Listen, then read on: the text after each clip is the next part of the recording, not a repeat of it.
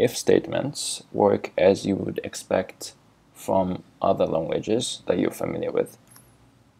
In particular, if you're familiar with Ruby syntax, it is very similar. So let's try writing a program to check if the number is a positive value or a negative value.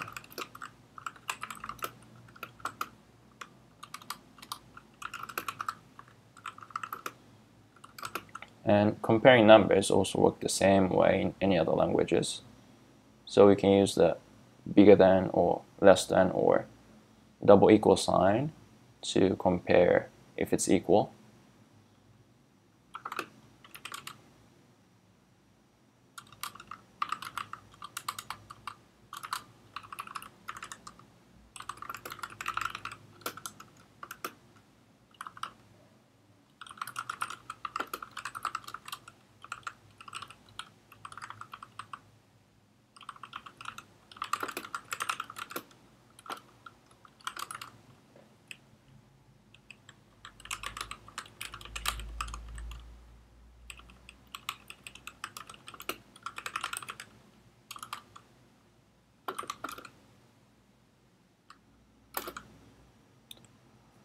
You can see that it is outputting positive value because 1 is bigger than 0.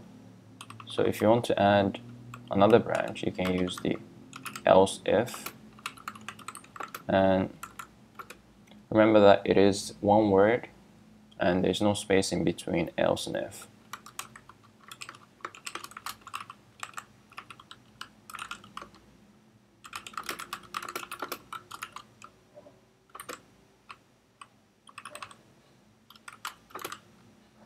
Now when you put it to 0, it says the value is 0. And when you put it to negative value, it shows up a negative value. So the thing to keep in mind is that in if statements in Vim script, there's no bracket or curly braces anywhere. And you have to end the if statement with end if. And if you want to use else if, then um, remember that it is one keyword. There is no space in between like um, C or JavaScript.